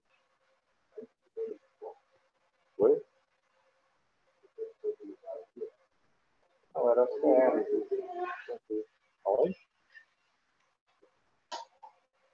Ah, sim. Aí, Verdade. Deixa eu só fechar o foco. Então, gente, isso é uma, uma coisa interessante assim, né, sobre o processo de varredura né, no, no microscópio nesse microscópio. Né? A imagem, como eu falei, ela é feita a partir de um processo de varredura. Então, a gente imagine que você tem na sua frente né, um computador. Então, você vai, o seu computador, né, o seu teclado. Então, você pode varrer essas linhas horizontais em relação às letras do seu teclado, correto? Então, você vai gerar uma imagem né, com as letras do seu teclado que está na sua frente, né, é, paralelas à, à, à parte de cima da imagem, tá bom? Mas a, a varredura no microscópio de varredura é controlada pelas bobinas defletores. Você pode pedir para o feixe parar e varrer da maneira que você quiser. Então, você pode varrer 512 por 512, você poderia varrer 512 por 1024, ou você pode varrer 1024 por 512, assim como a rotação dessa, desse quadrado, desse retângulo. Né? Então, se você antes estava varrendo, vamos supor, um retângulo paralelo né, com, a, com a sua lateral maior, paralela às, às linhas do seu teclado, às letras do seu teclado, você pode inclinar esse processo de rotação, dizer, essa rotação. Né? Então, a sua imagem, as letras do teclado vão ficar inclinadas em relação né, à horizontal da sua imagem. Então, é isso que a gente quer explicar. Nesse caso aqui, a gente pode rotacionar a amostra fisicamente, manter o feixe ali mais ou menos varrendo aquela mesma região, ou pode inclinar né, a, a, a, aquela, rota, aquela processo de varredura do feixe e manter a amostra parada. Então, são, são duas coisas que, que é interessante comentar né, já que a nossa imagem é feita a partir do processo varredura, a gente pode varrer da maneira que a gente quiser e na orientação que a gente quiser também. Bom, eu vou retirar, retirar o, o detector de reto espalhado aqui, tá? Vocês vão ver aqui que ele vai sair, tá na... Eu vou clicar aqui nesse botãozinho, nesse, nessa janelinha aqui, e ele vai recolher, tá? É, então eu vou desligar o feixe aqui bem rapidinho. Então, quando eu desligar o feixe, na verdade o feixe não desloca, né? É uma válvula aqui, como o André falou, que ela vai fechar. Aqui, fechei. O feixe aqui, ele fechou, tá vendo a válvula aqui, está ligado. E aí eu vou retirar o meu detector de espalhado, tá? Sim, acabou de sair. Vou voltar a Ok? Então, vou ligar meu feixe novamente.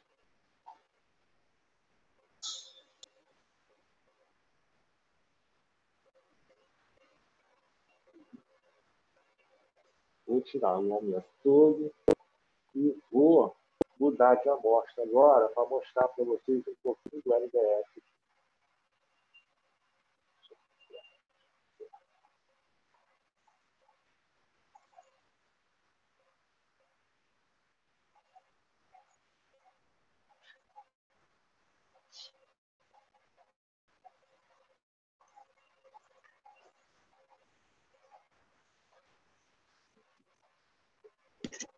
Oi? 20 minutos só?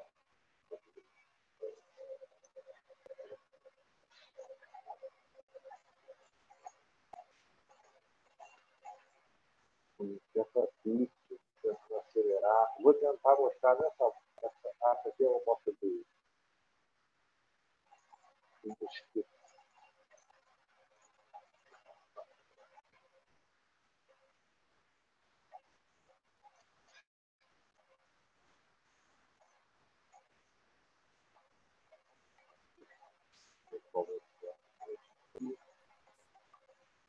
Então, gente, agora o Eduardo ele está rotacionando o porta-objeto, tá? É, para chegar até a amostra. Então, está posicionando a amostra, é uma daquelas amostras, é, mais ou menos centralizado o feixe de anel. É. Aí, eu, aqui são aquelas partículas, o pó de, de alumina, tá? olha como é que ela carrega bastante, ok?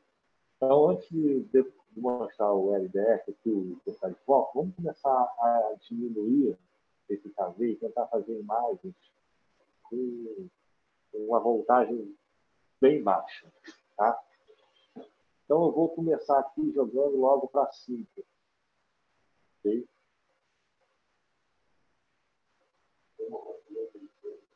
Essa amostra. Não o quê? Condutora. É, não condutora, ela não está recoberta, tá? Essa amostra, ela é partícula de alumina e ela não está recoberta. Ok? Vocês podem ver. Olha ela carrega Então, gente, deixa eu fazer um comentário sobre essa questão do carregamento que o Eduardo está comentando. Né? Então, lembra que é, a gente tem um feixe de elétrons incidindo sobre o material. Né? Esse feixe de elétrons tem uma corrente né, que é você tem uma dose ali de de carga sendo depositada por, por um determinado tempo. Né? Isso, isso dá corrente é, final sobre a amostra.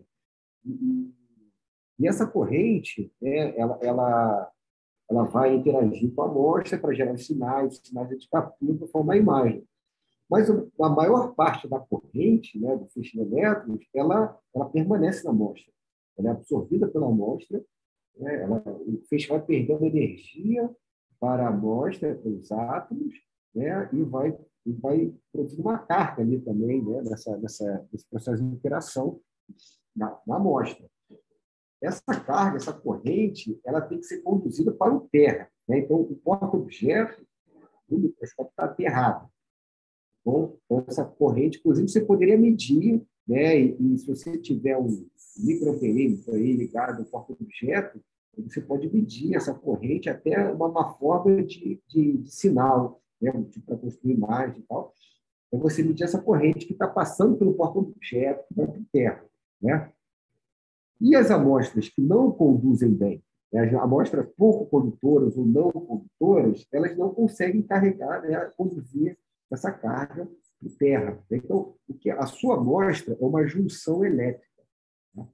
É uma junção elétrica entre o feixe, a corrente que vem com o feixe e a corrente que sai pelo porta-objeto. Se essa, se essa junção elétrica não conseguir conduzir toda essa corrente, você começa a acumular carga na superfície. Quando você acumula carga, né, você cria um potencial. E esse potencial começa a desviar o feixe de elétrons.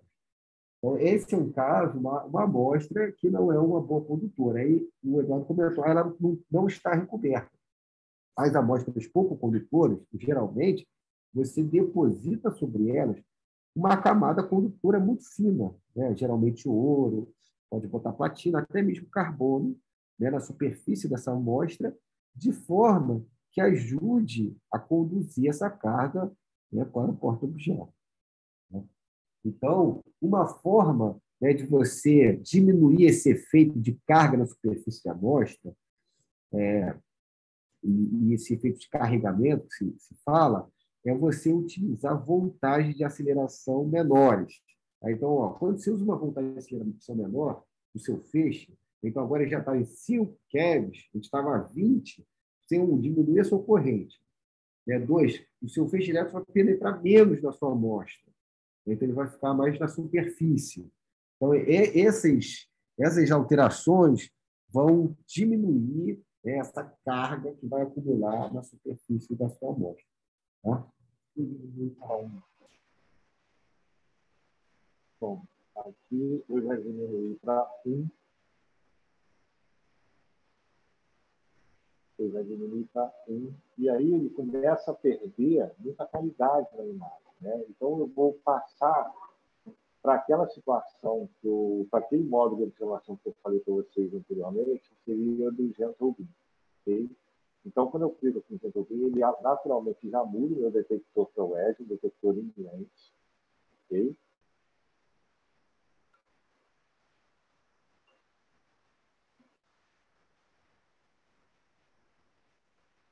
E o que, que ele está fazendo aqui agora?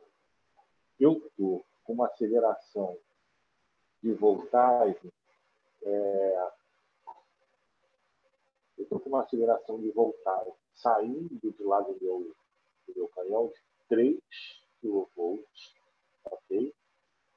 Ele está jogando um, uma carga na, na minha amostra 2, está protegendo minha amostra com 2 kV, na verdade está chegando na minha amostra em kV. Ele faz isso automaticamente. Tá? Então ele regula essa situação automaticamente. Então eu passo a não ter carregamento, eu passo a ter muito mais resolução de superfície, eu consigo ver mais detalhes superficiais que eu não conseguia ver antes da interação. Eu posso chegar aqui ainda, vamos chegar a botar 500 volts nessa amostra. Vou botar 500 volts nessa amostra, o que ele passou? Ele botou o meu feixe sendo acima 2, cai,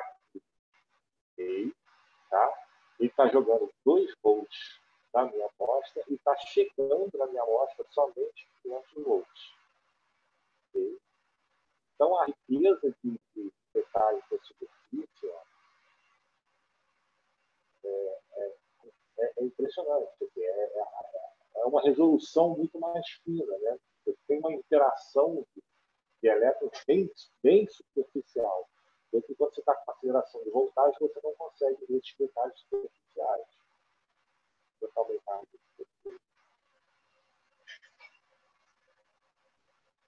E, gente, eu estou com 500 volts na minha amostra, tá? Só, somente isso.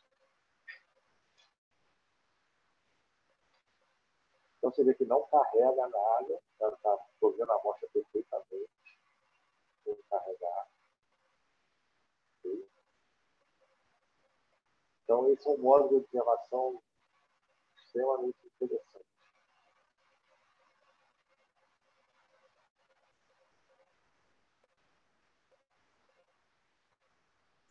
É, eu vou, tem, outra, tem outra pergunta aqui do Gabriel, eu coloco, vocês podem comentar também. O Gabriel perguntou qual seria o limite de aproximação desse MEV. 2 milímetros. Não trabalhar com work distance assim, menor que 2 milímetros. Se é isso que ele perguntou, né? É a distância de trabalho? É, o, o é, seria o limite de aproximação da amostra, Gabriel? É. Ou você quer relacionar com qual é o aumento máximo que pode se alcançar no MEV?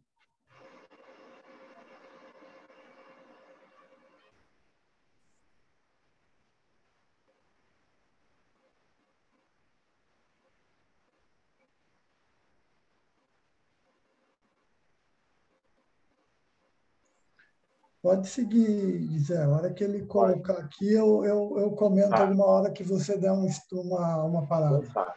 Então, como o tempo está acabando, é, eu vou fazer uma imagem, tentar fazer uma imagem com baixa voltagem também, direto secundário dessa superfície aqui, para vocês verem como fica diferente, tá? Então, olha só o detalhe dessa superfície. Eu vou tentar pegar essa mesma amostra aqui para fazer uma imagem. Eu vou botar aqui 5 para ver, pode ser que ela não carregue. Vou botar aqui no meu 5. E vou mudar o meu detector aqui para LED e o, e o modo de observação e vou dar um alto de contraste. É, qual é o maior aumento possível chegar no MEV aí? Essa é a pergunta. o maior aumento, não sei, 300 mil, acho que não chega assim, depende, porque assim, depende da amostra, entendeu? É, é uma amostra padrão, alinhamento assim, muito bem feito, talvez chegue isso, André, 200, 300 mil. É, eu acho por aí. É, talvez não, é, é, essa é uma pergunta importante, né? Uma pergunta importante, até para a gente pensar o, é, o que, que é aumento, o que, que esses conceitos de aumento e resolução também. Né? Então, é, você. O, talvez o conceito mais importante aqui seja a resolução, porque aumento a gente pode aumentar cada vez mais e não ter resolução. Né? Você pode fazer uma imagem com um aumento muito grande, só que sempre tudo borrado, porque você não tem mais resolução. Então, é, eu acho que você pode pensar no, no microscópio de varredura, a gente trabalha assim na, na, ordem de resolução de um nanômetro, um pouquinho menos. Né? Então, se você usar condições e amostras né, que são, são fáceis de, de serem imagiadas, assim, né? Um grande é, limitador da resolução do microscópio de varredura é o tamanho do seu feixe e a interação do seu feixe com a amostra. Né? Então, quanto menor o tamanho do seu feixe, ele vai caber no seu pixel no espaço amostra. Lembra esse conceito que eu tenho repetido aqui. Né? Então, se você tem um, feixe de um nanômetro, o seu, o seu pixel menor possível vai ser de um nanômetro. Se você fizer um pixel menor que um nanômetro, o seu feixe vai começar a transbordar. Isso sem contar que não é só o tamanho do feixe, é a interação do feixe com a amostra. Então, quando o feixe em si a amostra, ele vai fazer um volume de interação e muitas vezes é, vai ser muito maior que o tamanho do seu feixe. Então, assim, a ordem de resolução do, do MEV está na faixa de um nanômetro. O microscópio de transmissão já é mais. Então, ele tem mais resolução, resolução né? até porque, enfim, outras questões. Então, a gente poderia até calcular né, é, é, qual seria o aumento né, se você tem uma, uma resolução, um, um cálculo relativamente fácil que vocês poderiam fazer, né, que se a gente dividir o, a resolução do nosso olho dividido pela resolução né, do microscópio, o nosso olho tem uma resolução, quer dizer, a gente pode ver uma imagem, é, é, a gente usa um pixel um pouco abaixo da resolução do nosso olho, que é na ordem de é, uma fração de um milímetro, 200 micrômetros, né, a resolução do nosso olho, e dividido pela resolução de um microscópio, que é um nanômetro. Então, seria é, 200, se fizer na escala de 200 micrômetros, 200 divididos por é, 0,001 nanômetro. Né? E aí você teria mais ou menos o aumento que você pode chegar. Tá? Então, faz o cálculo aí depois você. Bom, aqui, gente, já vai ter um outro modo de observação, que é o chamado LDF. O LDF, o microscópio ele vai desligar a objetiva e vai ficar só com a C1 ligada.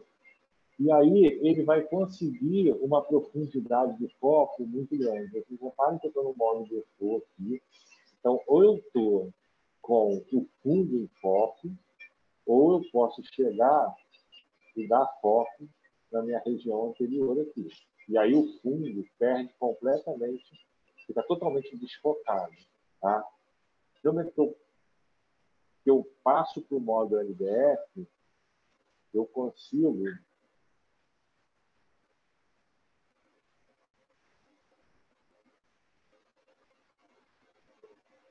uma, uma profundidade de foco melhor.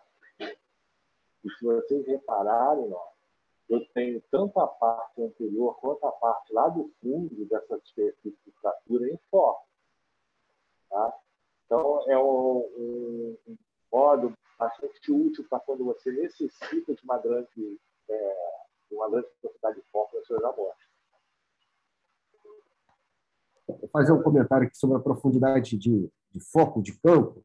Né? É, a lógica, nesse caso, Dani, é, de você ter várias é, profundidades em, foco, é a mesma lógica de uma câmera fotográfica. Né? Hoje em dia a gente percebe pouco que a gente usa o celular, mas se você usa uma câmera mais, mais manual, né, com lentes, né, que você possa botar aberturas grandes ou pequenas. Né? Então, num sistema ótico, quanto mais, é, quanto menor a abertura, mais ângulo do seu feixe você corta. É, seja do, né, no caso de uma máquina fotográfica, se botar abertura pequena, você está diminuindo o número de abertura da sua câmera. E quanto menor o número de abertura, maior a profundidade de campo. Tá? Então, então numa máquina fotográfica, é, se você quer tirar foto é, de, de vários planos, quer dizer, tem pessoas em diferentes planos, você vai botar uma abertura pequena para você ganhar profundidade de campo. Agora, você vai perder luz. Tá? Então, são coisas que são um compromisso. Você perde luz ganha profundidade de campo. Se você aumentar o número de abertura, né, a sua abertura, você vai, vai diminuir a sua profundidade de campo e você, você ganha a luz. Né? Então, se o ambiente for escuro, você não tem escuro. Vamos, Eduardo, para o último exemplo, para a gente. Porque já está chegando no final e não, não pode atrasar. O último exemplo é o, a utilização do, do TTL, né? que é que é o True. Ah, o bichinho? Tá. Qual que o bichinho então? Vou tirar aqui. Vou o bichinho. O bichinho também é, é, um, é um animalzinho, é um bichinho, um bichinho. Eu não sei se a Raquel catou. Tá? E assim, é, ele está aqui sem nenhum tipo de recobrimento. Depois dessa. Sem nenhum tipo de, de recobrimento.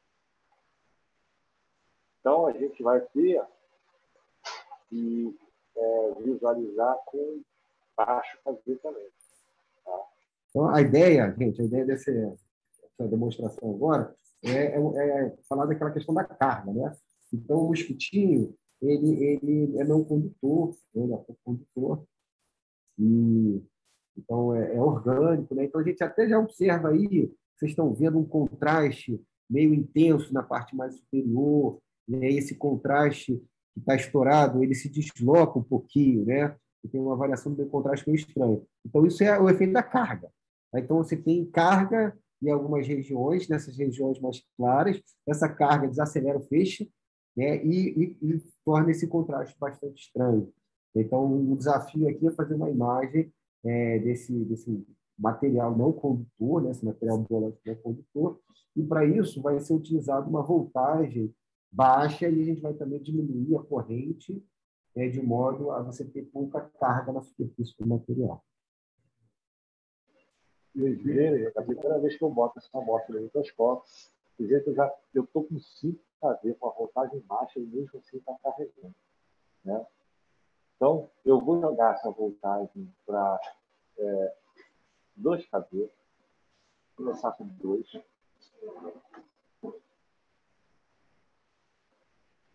E aí o desafio vai ser a gente conseguir fazer a imagem sem carregar desse cidadão.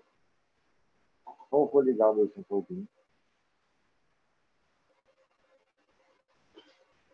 Tá? Ele mudou aqui, o detector.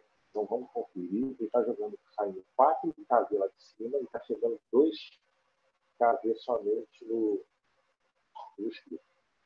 Também alto de contraste. Ainda está o, o vou diminuir mais ainda, eu vou jogar para para 1 KV. Então, de 4 diminuiu para 3. Ok? E eu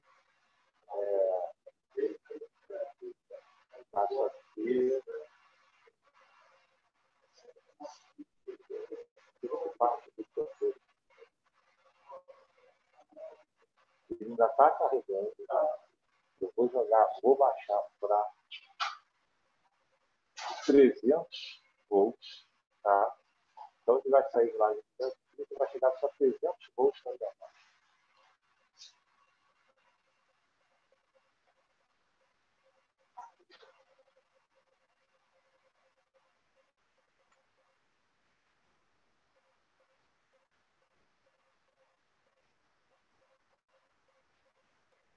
aí eu vou ter que acertar o Obler, provavelmente vai estar balançando bastante. E o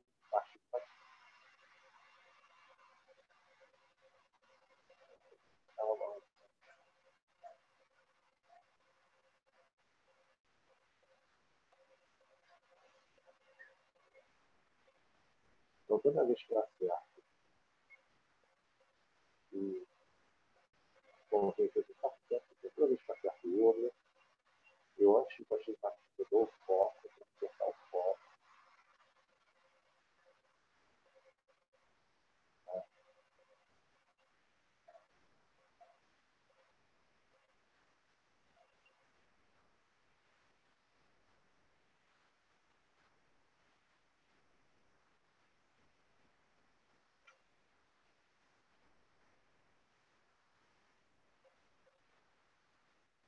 Eu não sei nem que parte do inspetor, ok? Mas a gente já está conseguindo uma imagem sem carregar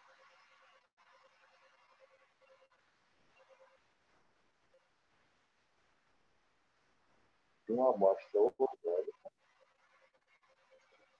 sem recolhimento.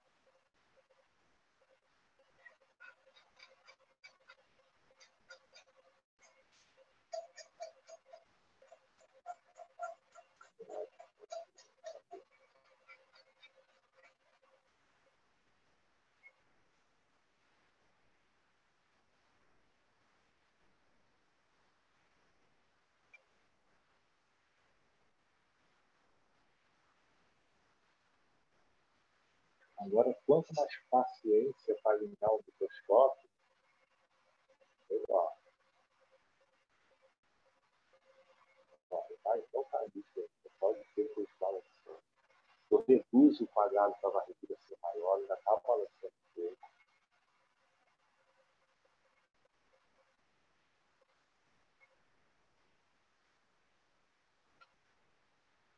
Vou tentar melhorar o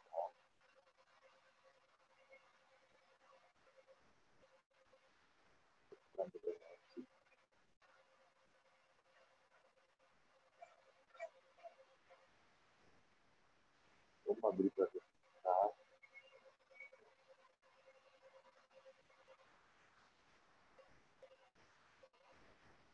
Esse aqui embaixo o aumento vai ficar um pouco menor. Toda vez que eu faço um aumento maior, é claro que o, o variamento precisa ser mais preciso. Mas eu consigo já uma qualidade mais, posso tirar para vocês, qualidade de uma amostra né, orgânica sem esse polimento bastante aceitável. Aí, com o tempo, assim, a gente vai aumentando, né, aumentando a alimentação, vai ganhar mais peixe, aí vai ficar desenvolvendo mais criativo, forma, até que conseguir melhor imagem.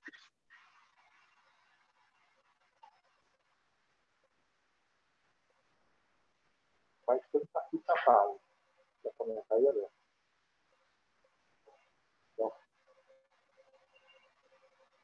Eu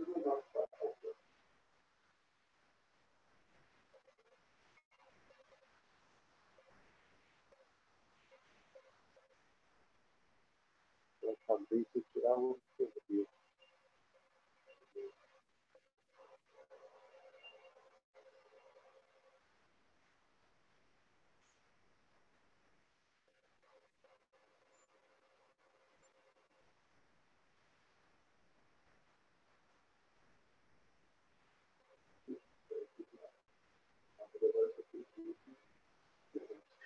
Oi? Para encerrar, né? Bom, gente, é... espero que tenha abordado bastante coisa para vocês. Né? O André vai dar encerrado agora. Tem que fazer para mim sair junto com vocês. Gente, é, alguma pergunta que- da, dos alunos? Vocês têm alguma pergunta para colocar? Uma curiosidade sobre o microscópio? A gente tentou mostrar assim, um pouco assim, como é que é a rotina do, do operador, né, que senta no microscópio, as funções que você tem no software. né, é, como vocês podem ver, né, o que a gente fez agora, a gente não, não trabalhou com raio-x, nem são é como se fosse de fato um microscópio mesmo, né? É um microscópio que, que é, tem suas particularidades por ser um microscópio eletrônico, né? então tem a questão da interação da matéria, o tipo de sinal, e é sempre importante ter esse, esse, esses conceitos básicos para você interpretar o contraste, né? não ficar somente é, interpretando a morfologia, né? Você tem que ter, é importante para o operador saber né, as, as, os conceitos né, da, do, do, eletrônico, da interação da matéria, até para decidir as condições que você vai usar. né? Então, se você está trabalhando com uma amostra condutora, se você quer trabalhar com muita resolução, se você não precisa de muita resolução, né? se você precisa de profundidade de campo, se você não precisa de profundidade de campo. Então, são, são condições que, para você ajustar, você precisa entender né, o, o, funcionamento do microscópio. Tá? É, então, é, essa é mais ou menos a nossa rotina aqui, é, no, no, caso de trabalhar com imagem. Né? O Daniel está falando que muito interessante ver o funcionamento é, dele nesse mosquito. Né? É, e, e, na aula seguinte, então, assim, a, a, a última aula, ontem, eu falei sobre os conceitos básicos né, do microscópio, é, da interação com matéria, né, do, do, funcionamento como um todo do microscópio. Hoje a gente ilustrou isso, né, a gente mostrou é, um pouco desse processo de operação para formar imagem, usando esses dois tipos de detector, de, de sinais, né, que são os elétrons e os elétrons secundários. E, a, e amanhã a gente já sai um pouco da parte imagem e vai trabalhar com duas outras técnicas desse equipamento. Né? Uma delas é a, é, o, é a, é a detecção de raio-x característico, então a interação eletromatéria emite raio-x também característico, e esse raio-x pode ser usado para identificar a composição da amostra. A composição da amostra, a composição química, eventualmente até fazer quantificações né, dos elementos, da proporção de cada elemento que tem na sua amostra. E a outra técnica, né, que é também extremamente importante e interessante, é a difração de elétrons no leve. Então, no caso da sua amostra, ser uma amostra cristalina, né, um feixe de elétrons, como eu comentei, é um feixe coerente monocromático, um determinado comprimento de onda que vai difratar né, nos planos, dependendo do seu tamanho e da sua orientação em relação ao plano.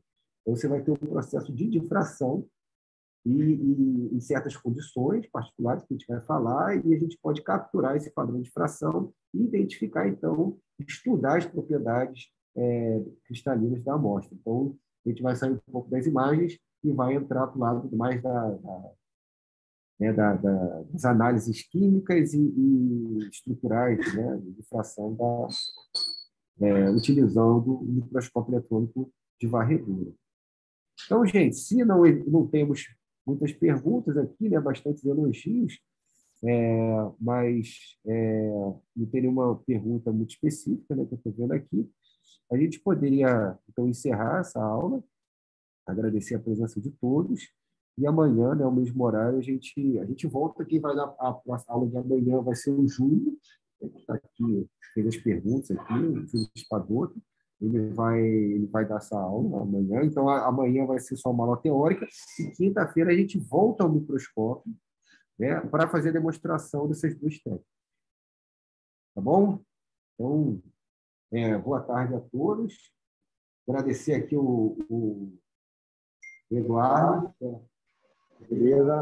É um prazer estar com vocês.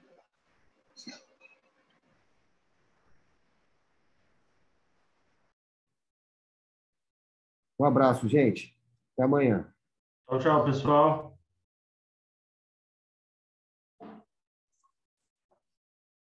Até amanhã.